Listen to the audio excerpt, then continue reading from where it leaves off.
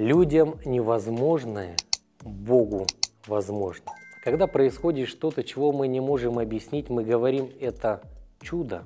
Согласно этому набору определений, большинство вещей, которые делает фокусник, было бы для меня чудом, но я хорошо знаю, что это не так. Согласно библейской традиции, чудо – это не то, чего мы не понимаем, а то, что сделано для нас, чего мы не можем сделать сами.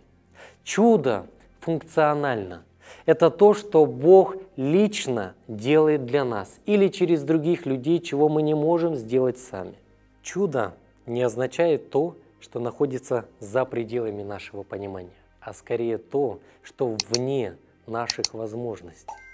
Таким образом, когда я выхожу утром и вижу восходящее из-за горизонта солнце, я могу сказать, это есть чудо. И я буду прав с точки зрения священного писания. Каждое утро это есть чудо.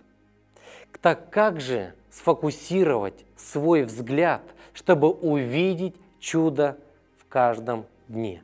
Нам нужно с вами настроиться на нужную волну. Нужно постараться направить все свои чувства, внимание, любопытство и интеллект на слышание. Умение слышать – это функция не только биологическая, это духовное умение души.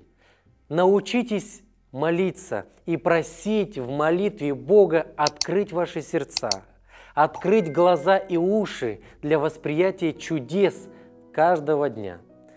И ваша жизнь преобразится.